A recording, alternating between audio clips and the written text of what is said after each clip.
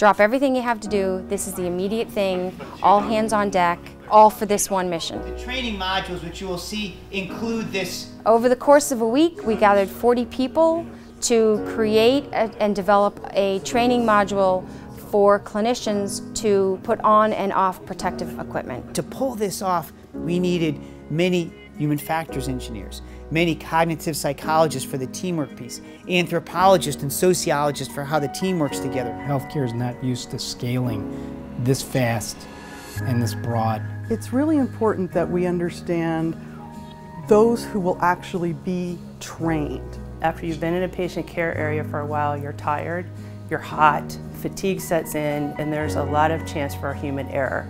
Instead of waiting for incidents to happen, we need to proactively identify potential failure modes. So it's very important that with Ebola, you have a trained observer with you that helps guide you through the process of how to take things off. I roll it up, move it away from her face.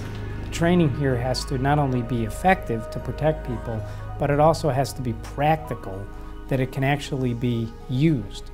Training that is actually effective, but it can't ever be used, it doesn't really matter. We are great visual learners. That is the goal of videos combined with text, combined with graphics. Five down, donning, open intro, take two.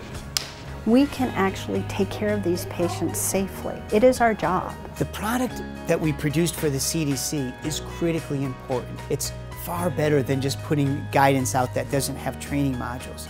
But the bigger lesson here is what's powerful and what's possible when you bring diverse groups of people together from the government, from the private sector, from the public sector, who can work together to solve these really big problems that our country and the world face.